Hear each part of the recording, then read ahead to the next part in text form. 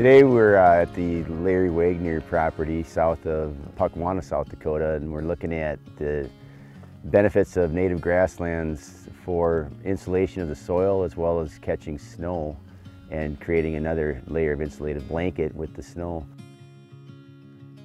This is a planted grassland, so it's, it's native planting, old field, and the benefits of that plant community uh, as far as structure and function is really impressive. Uh, catching snow all winter down here in, in this Chamberlain, South Dakota area. Larry's told us that we've got about 65 inches of snow so far this winter with freeze thaw. And what we were able to demonstrate today is the uh, ability of that snow blanket to insulate the soil.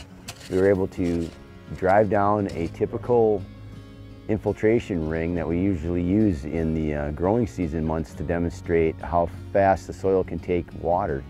And here in the middle of winter, uh, hard frozen ground, we were able to move that snow out of the way easily, uh, drive that infiltration ring into the soft, soft black soil and we uh, did our infiltration test and it was only a 40 second, um, 40 seconds until it took that first uh, liter of water. Um, which nobody really thinks about. But we, we talk about snow and frozen ground and runoff. Nobody ever really talks about infiltration and the benefit that these grasslands have for capturing so much of that, that early spring, uh, what would typically be runoff from the snow, goes right into the ground. This ground, like I say, has not froze yet, a lot of it, so it, it's still inf infiltrating water and uh, will keep doing so with our snow cover. And of course, we're getting late enough that we'll probably, hopefully, have some spring rains. It's a slow melt of the snow allows it to infiltrate really well. And so you get, I would say 100% use of the moisture out of the snow. We were really lucky this year. The snow we've got has had a, an awful lot of moisture in it. So it's gonna really give our grass, I, I'm thinking we're going to have a good start for grass this year.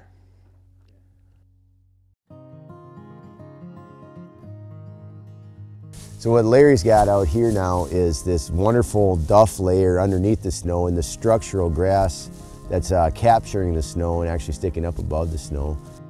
It's not going to melt as quickly as the crop ground around us.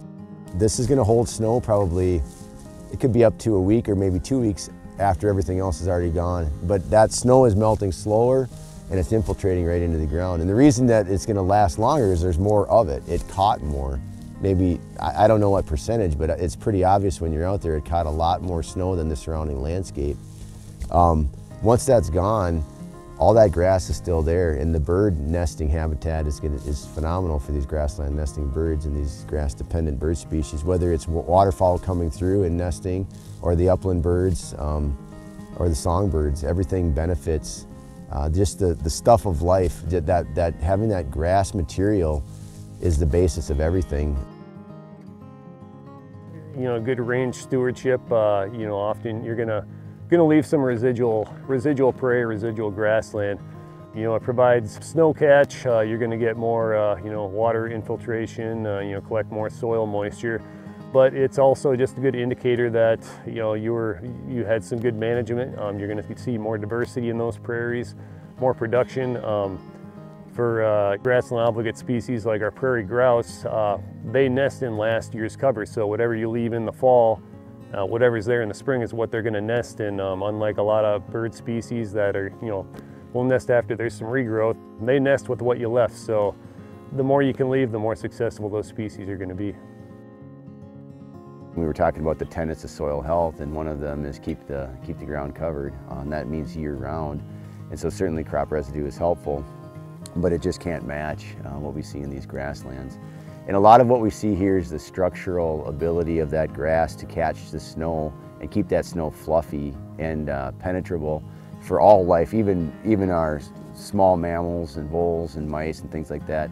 The snow isn't hard packed. You get through that upper layer of crust and it's just, it's just powder more or less underneath.